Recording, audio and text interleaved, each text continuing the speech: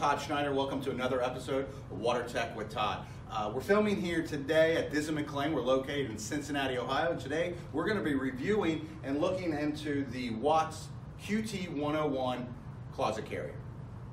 All right, everybody, to get started, one of the great advantages about working with Watts and their carrier systems is when you order these, they're all going to come pre-assembled in the box for you.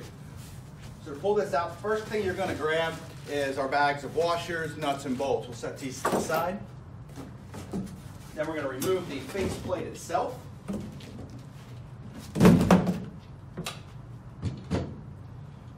So big advantage is you're not having to put all this stuff together. This is already going to come in the box, ready to go and ready for installation. Now let's talk about where we're going to be installing these and who are using these. So this is going to be perfect for any of your retrofitting, remodeling, or new construction products out there. Uh, but a lot of the design features on here were really based on what the prefabrication guys were looking for. Uh, prefab guys are when they're going to be setting about five of these carriers in their shop and then be able to take it from the shop, transport out to the job, and set it in place. Now some of the nice features that we've got on here, uh, we're going to start with our feet. Normally the feet uh, in the ISCA carrier were more facing front to back.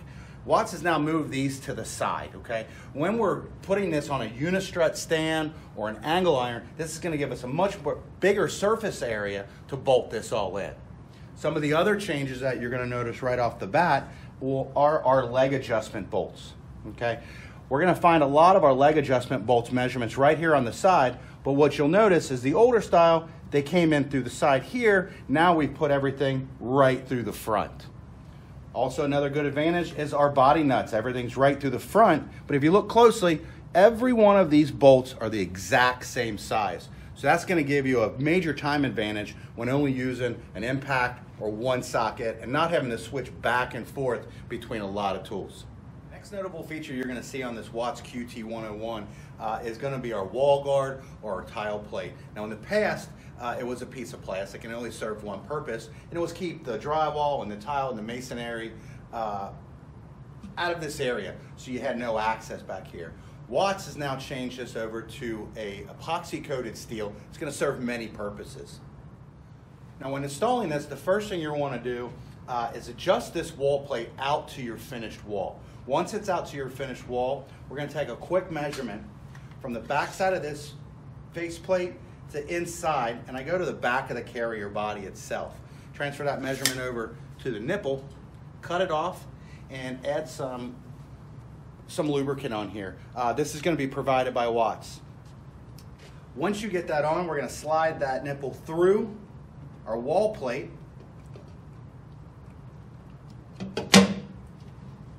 quarter turn.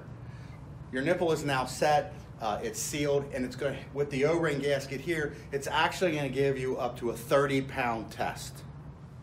All right, now I know what you're thinking. Todd, in a true job, these walls can adjust back and forth. Say they remove tile from it, now all of a sudden our wall plate's sticking out too far.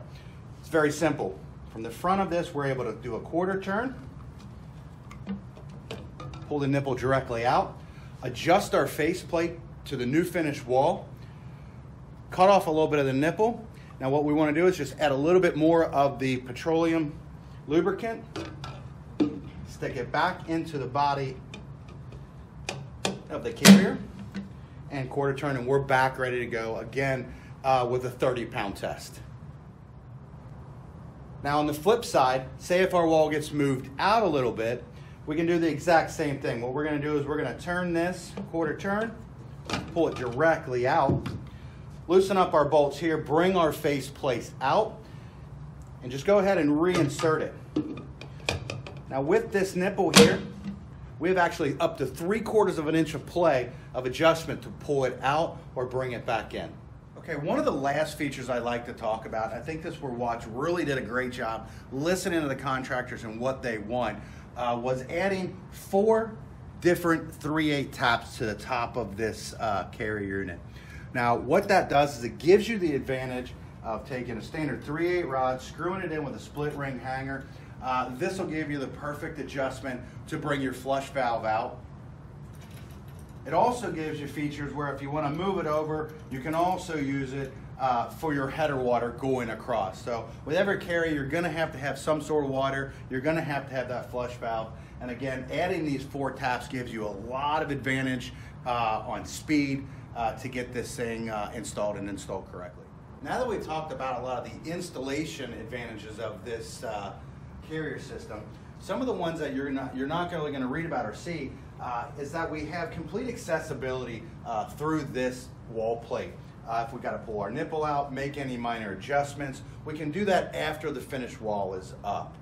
Uh, the other thing that I really like, uh, and being in the field and being in the trade, is after these nipples are installed, we really have to worry about are they going to stay in place? Are they going to get beat up with roll around carts and ladders?